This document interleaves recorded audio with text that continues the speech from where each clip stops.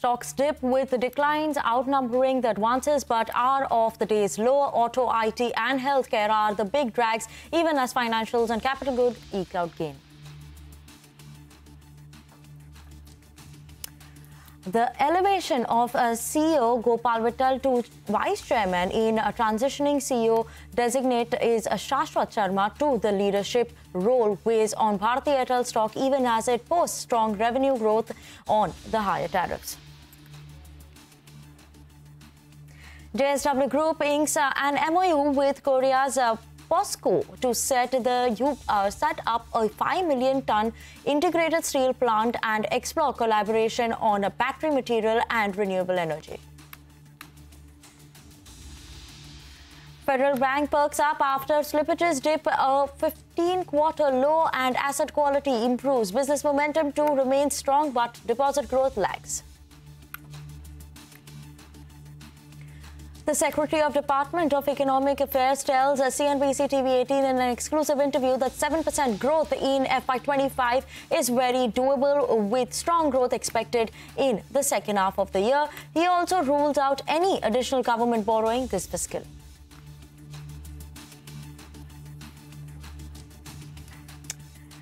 Hello, good afternoon. You're watching Business Lunch on CNBC TV 18 and I'm Vinny Motiwala. Firstly, a happy Dhanteras to everyone, but uh, markets quite subdued in trade, not much of an excitement there. Uh, let's look at what the Nifty is doing. Trading, it was trading with a negative bias the last time I checked. So yes, keeping an eye out on that. Sensex 2 was managing to hold on to some bit of a gain. But as of now, a Nifty was trading with a negative bias. Let's also look at, yeah, see the Nifty is recovered from the day's lowest point but still some bit of a negativeness is what we're seeing. Let's pull up uh, what the Nifty PSU Bank is doing. That's managing to hold on to gains. Second consecutive day that we're seeing the Nifty PSU Bank actually managing to hold on to gains. So yes, a 1.6% uptick right now coming in for the Nifty PSU banks. We've seen a lot of earnings coming in on that front as well. Auto Nifty Auto, that's among the top sectoral losers today. Uh, we are watching out for earnings that will come out from Maruti. Important to watch out there.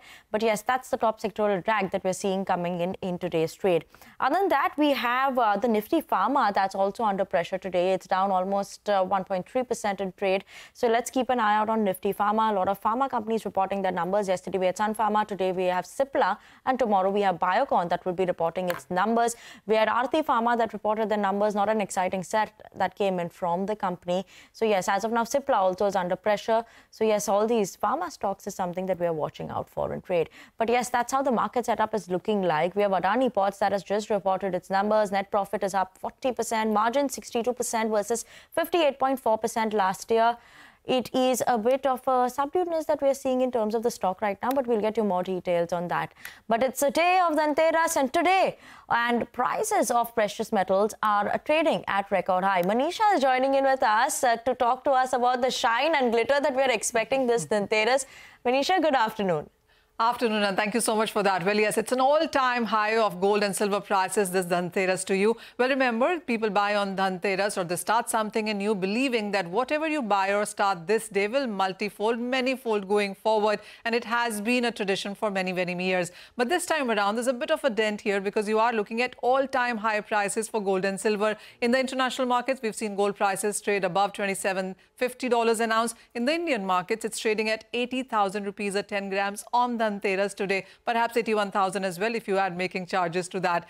It's the same case for silver also, 12-year highs in the international markets, but the Indian prices are trading at a 1 lakh rupees. Well, last year the prices were trading at around 70,000, so it has been a huge jump up that you've seen come in for silver prices. It has been strong gains across, and that is because we are looking at uh, a lot of buying in the international markets because of the safe haven buying that gold sees. And this is happening even as there is some restraint that we've seen from Israel and Iran. So somewhat of a war premium seems to have gone down. And then apart from that, the Treasury yields are trading at a three-month highs. The dollar index is headed for a best monthly gain since April 2022. Even with all of this, there is no decline or respite that you've seen for gold and silver. In fact, the traders are watching out the geopolitical tensions in the global markets. It is also about global central bank buying and a lot of uncertainty because of the US presidential elections as well. So you want to stay invested in tangible commodities and what better than gold and silver there. I want to take you through prices on what uh, the prices have been on on Dhanteras in last many years. So if I can take you through that, in 2019, we were trading at prices of around 38,000 rupees. And then after two or three years, we've been trading between that 45 to 55,000 rupees. But it was last year that the prices were trading at 60,000 rupees on Dhanteras. And this time around, as you can see, we are at 80,000. So 20,000 rupees per 10 grams of a price rise in the matter of last one year. Also, silver has been rising as well. As I told you, last year was 70,000 rupees. This time is a lakh rupees. And this is what we've done in sense of silver imports into the country. It was at record in 2022, fell in the uh, 2023 because we already had imported a lot of silver. And this year, until now, we've done 7,000 tons of imports already. This is a very interesting chart which tells you that on an average on Diwali Dhanteras week, we buy 20 to 25 tons of silver and 500 to 800 tons of silver as well. So between gold and silver, the markets do anticipate that this number could go higher in this year. One, because the trust in gold and silver is high. Two, there are various ways of buying it. And three, with the kind of returns that you have seen come in for gold and silver, markets believe that the returns could only go higher going forward. Okay, returns could only go higher. It's already gone higher. But yes, happy Dhanteras to you, Manisha, as well, and surely keeping an eye out on gold and silver. Let's move on. In other news, JSW Group and Korea's POSCO Group have signed an MOU to develop an integrated steel plant in India with initial capacity of 5 million tons per annum. The MOU will uh, explore collaborations on battery materials related to electric vehicles and renewable energy in India. Let's move on to another story that we have. And sources are telling CNBC TV 18 that the SEBI investigation in terms of Axis Max Life deal has asked for five clarifications over the term of uh, the deal. Let's go across to Yash, who's standing by to tell us the details on the same as well. Yash? Well, Vinny, uh, just uh, on Friday, uh, Bank informed the exchanges that they've received a show cause notice from market regulator SEBI, and this show cause notice is uh, related to the Axis uh, entities and Max Life transaction, where Axis entities have altogether acquired about 19% stake in Max Life Insurance. Uh, as far as the deal itself is concerned, it was broken into multiple parts. In the first tranche, Axis entities acquired about 13% stake in Max Life Insurance. That was done at a price of 32 rupees per share, after which the insurance regulator had uh, said that the deal has not happened at a fair market value and hence uh, Axis uh, Bank as well as uh, Max Financial Services were penalized and the deal had to be revised for the balance part of the transaction. what we've been given to understand is that SEBI show cause notice has come down with respect to the same discrepancy when it comes to the pricing of the transaction and as far as the show cause notice from market regulator SEBI is concerned, it primarily is asking five important questions to Axis Bank as well as Max Financial Services. The first question is why was the pricing of Axis Max Life deal so discrepant from the transactions which have happened in Max Life Insurance earlier. The second question is, was the discounted pricing as far as Axis Max Life deal is concerned done uh, to benefit Axis Bank? Uh, that's an important question coming from uh, market regulator SEBI. Third one is how did the discounted price, which was, uh, you know, 32 rupees a share for 13% stake, beneficial at all for Max Financial Services. The fourth question is why should it be assumed that the public shareholders of Max Financial Services did not get the right value out of Axis uh, Max Life deal? And fifth, uh, uh, and the most important concluding question, that was why no action should be taken against Axis Bank, Max Financial Services for hurting the interest of uh, public shareholders of Max Financial Services. Uh, you know, a rough calculation would suggest that if the deal would have happened at fair market value, that was done later, 113 rupees a share, Axis Bank would have had to shell out about 2600, over 2600 crore additional for that 13% stake which it acquired.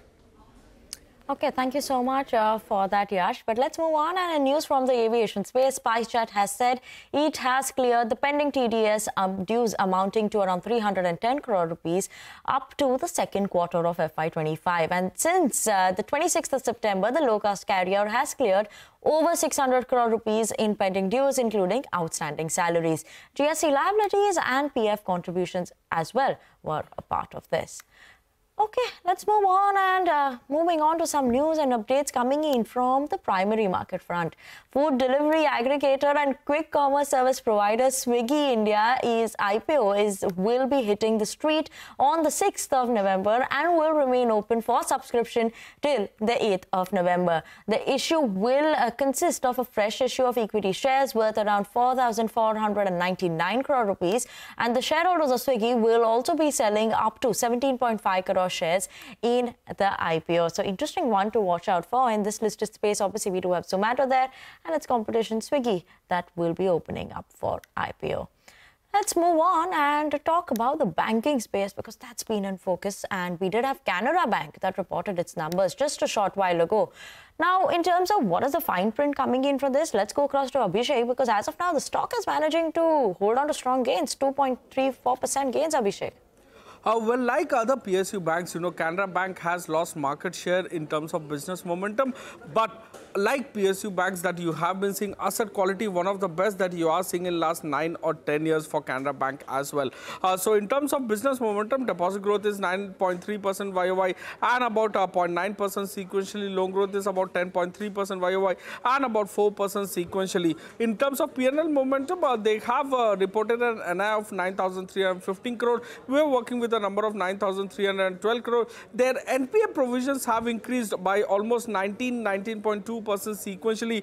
So annualized credit cost is at five quarter high of 1.05% versus 0.9% sequentially. But this is not for fresh slippages, but this is more to do with the write-offs that they have done. Uh, so they have made provisions over there. More than 3,000 crore of NPAs have been written off this uh, quarter. So that is why uh, they have made the provisions over there. they have reported a part of 4,014 crore. We were working with a number of 4,047 crore. In terms of asset quality, uh, gross NPA ratio and net NPA ratio, uh, uh, you know, they have fallen below 4% and 1% respectively for the first time in last 9 or 10 years. So slippages have declined by 30% on a sequential basis. Annualized slippage ratio is at 0.93 versus 1.37%, which is the lowest in last 15 quarters. So gross NPA and net NPA in absolute value have declined by 6.5% and 16.5%. And on your screen, you can see gross NPA ratio below 4% and net NPA ratio below 1%. Back to you. Okay, thank you so much for that, Abhishek. Uh, let's keep an eye out on Canara Bank. But uh, on that note, we're going to slip into a very short break, but a small programming note on that front that as we prepare to ring in the festivities this Diwali, tune into CNBC TV 18 at 2.30 p.m. today to hear out the biggest market voices giving their tips on how you can make your portfolio prosper this Diwali.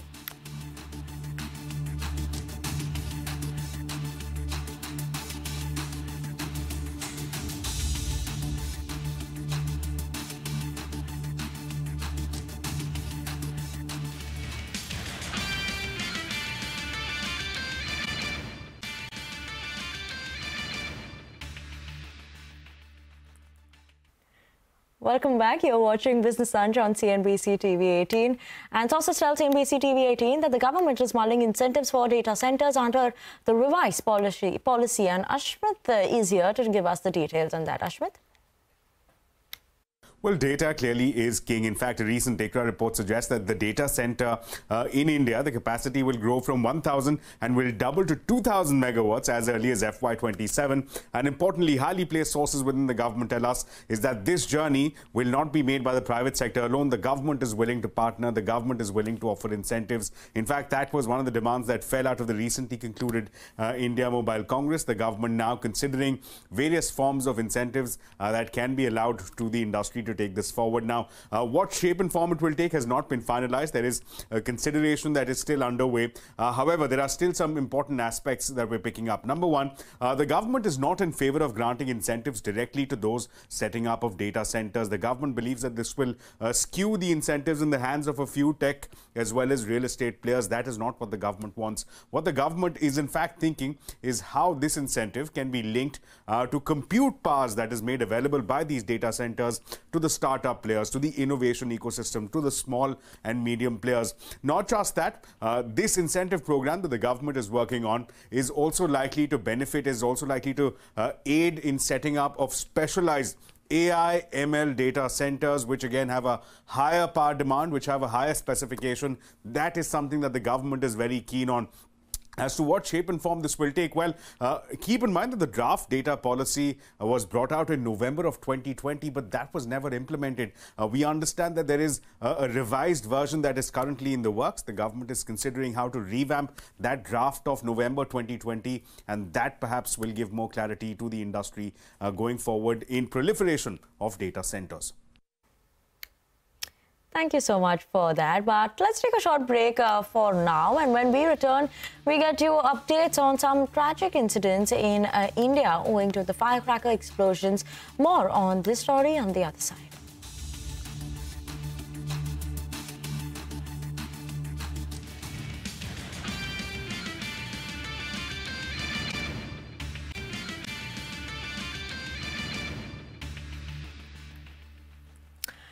Welcome back. You're watching Business Lunch on CNBC TV 18, and we do have Maruti that has reported its numbers. We were expecting a subdued quarter. Now, EBITDA has come in at 4,417 crores, and our expectation for EBITDA was at around 4,690 crores. Net profit 3,000 crores versus at the poll of 3,779 crores. So, miss seems like coming in on the net profit front. Revenue. Uh, better than what we are expecting. 36,962. This is coming at 37,000. So almost in line to slightly better. Uh, keeping an eye out on that one. As of now, 4,417 is what we're watching out for in terms of EBITDA. The stock has taken a bit of a fall. Uh, margins, let's watch out for that as well because last time the margins were at 12.9%. This time it's 11.9%. A poll was 12.7%. So there is a miss that has come in on the EBITDA margin front. We're seeing the stock also see a bit of a fall coming in. Uh, so yes, uh, numbers don't seem to be uh, a bit of a miss, at least, is what we're watching out for in terms of the margin front for the company and even the profitability front of the company. There seems to be a bit of a miss coming in there. Uh, other than that, you know, obviously the expectation obviously was there to watch out for because we're expecting a subdued quarter. What are the volumes turning out to be? The volumes uh, on a year-on-year basis that was down by two percent. So keeping an eye out on that, a better mix because it was, uh, what we were expecting, uh, what one was expecting this time. But that seems like that has not happened right now, and we're seeing a bit of a miss coming in on the margin front. Actually, a 100 basis point contraction is what we're seeing on the EBITDA margin front for the company. What's also important to watch out for, you know, how is the demand outlook shaping up for FY25 and this festive season? We'd heard some bit of a concerns coming in around festive season. Now, how is that actually going to be shaping in from the company? We'll reach out for some commentary that maybe we could watch out for from the company in terms of that. As of now, our numbers are a miss. The stock is down 2% in trade and uh, we'll also bring in some bit of a reaction that we're watching out for in uh, and uh, on what Maruti is expected uh, and how these numbers are being read by. But let's move on and we also have Prakash Diwan to talk to us about the same in terms of Maruti's numbers. Prakash, good afternoon. First cut seems like Maruti has missed the estimates of the street at least and what we were looking at in terms of CNBC, especially on the margin front. What are your uh, what is your outlook in terms of the numbers? How are you reading it? So yeah, I know while this might be a disappointment as compared to the consensus, uh, but personally, my take is that Maruti has gone through a phase of uh, consolidating a lot of its production and operations, uh, but hasn't had any new launches. Uh, the last significant launch that they had was the Fronx, which has taken off quite well. But after that, uh, nothing much has happened, especially on the hybrid portfolio. So the conventional uh, product portfolio that they have, realizations, if you see, they've not been able to pass on higher prices or move up the value chain, and that's that's where the margins would definitely get impacted. Uh, and and to be honest, uh, there's not much of a restocking on festive season on account of the festive season that usually happens by this quarter, or at least starts getting you some semblance of restocking. So uh, uh, let's see if, if quarter three goes off well, then then there could be a little bit of a pullback. But otherwise, uh, it could it could consolidate or struggle a bit uh, for the next six months in this zone. Absolutely. Maybe it could struggle a bit because right now the stock is down 4%. Prakash, uh, like you were mentioning, festive season doesn't seem to be too exciting. Um, is that a concern coming in for other players as well? Or maybe it's just Maruti because of the reduction in terms of launches or not too many launches there for the company? So you're right. You know, it is uh, it is a phenomenon that's driven more by the competitive intensity in uh, segments that Maruti usually has been known to lead. Uh, if you see the, you know, if the market share retention itself has been a challenge for them last uh, couple of years.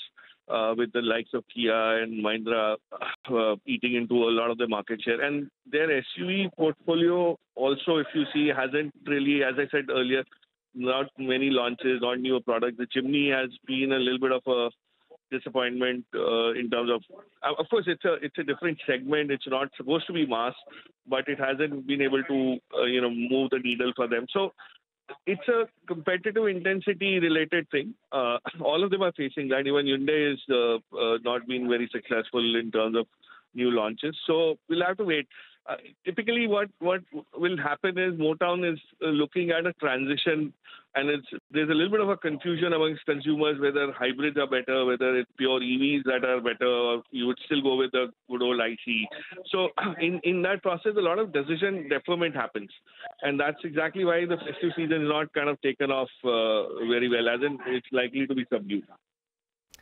Okay, yeah, festive season surely is uh, subdued. But Prakash, I just want to understand, right? Like, while we talk about consumers being confused about it, do you think uh, the update on EV timeline model launch that is also something that maybe could give in some bit more competition to Maruti Suzuki, and that could be some bit of a pressure point for Maruti going forward? Yeah, I mean they they definitely are much late in in the EV value chain. Uh, they their reliance on hybrid uh, was far higher, and and there there's a dependence on Toyota. So and Toyota is constrained by capacity, uh, uh, you know, of output. So they've really not been able to play a very significant role in that, unlike other markets where hybrids have been far more dominant very quickly.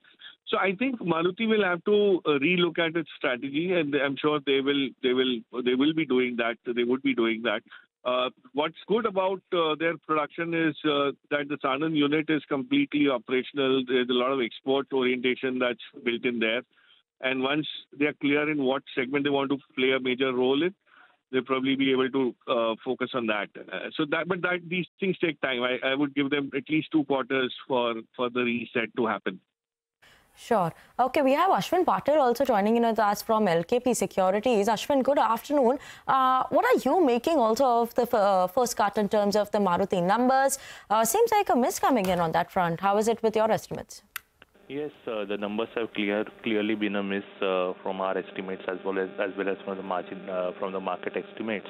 The margins uh, have come uh, below estimates at about 11.9%, though the revenues in the top line is uh, quite quite in line with you know the estimates. But the clear miss is on the you know on the margin front.